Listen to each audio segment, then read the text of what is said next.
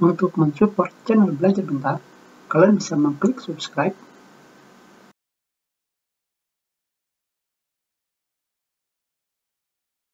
Halo, selamat datang di Belajar Bentar. Sekarang kita akan belajar mengenai sekarang kita akan belajar mengenai settingan kecepatan double klik dan klik lock.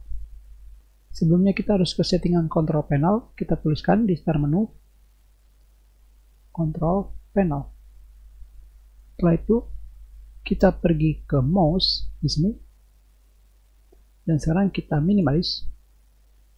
Sekarang kita berada di mouse properties di sini yang pertama kita pelajari adalah double click speed atau kecepatan double click, kecepatan klik dua kali seperti ini.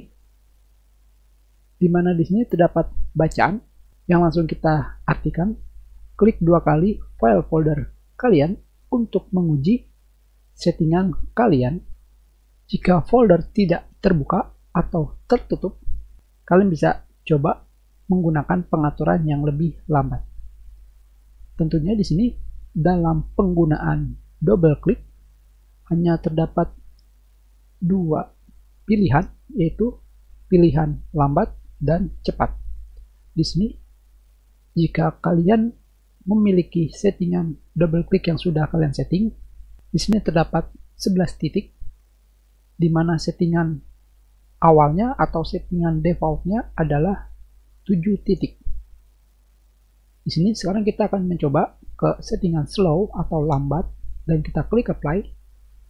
Dan sekarang kita lihat di sini kita coba kita coba double klik 1 2 1 2 dan sekarang kita sudah menggunakan settingan double klik lambat. Tapi bukan berarti kalian bisa menunggu dan kalian klik lagi tetap ada batasan waktunya. Dan sekarang kita coba yang paling cepat di sini. Kita apply. Kita klik 1 2 1 2 1 2 1 2 harus lebih cepat. Seperti ini. Ini adalah settingan double klik yang paling cepat. Kita kembalikan lagi ke 7 titik atau pengaturan awal.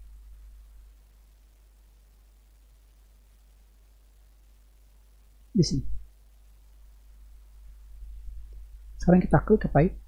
Yang berikutnya adalah settingan klik lock atau yang disebut klik tahan seperti ini. Sekarang kita lihat di sini klik tahan seperti ini. Di mana di sini terdapat tulisan yang tentunya kita langsung artikan dalam bahasa Inggris.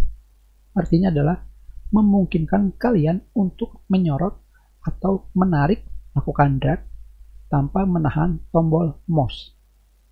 Untuk mengatur, tekan sebentar tombol mouse kalian dan untuk melepasannya kembali, kalian tekan lagi. Hanya seperti itu saja. Maksudnya seperti apa? Sekarang kita lihat di sini. Kita aktifkan turn on click lock.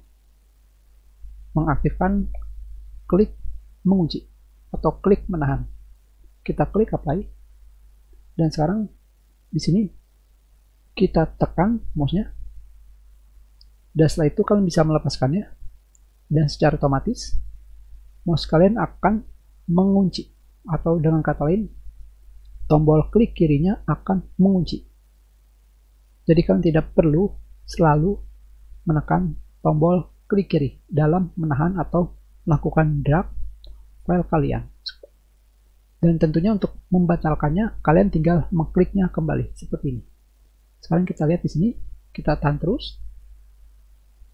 Dan sekarang kalian bisa melakukan drag and drop. Hanya seperti itu saja.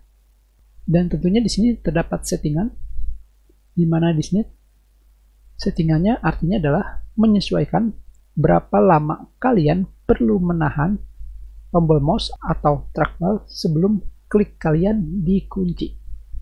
Tentunya di sini settingannya hanyalah short dan long, pendek atau panjang atau sebentar dan lama.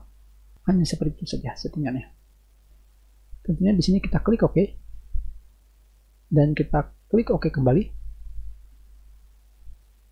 Kita tekan dan menguji.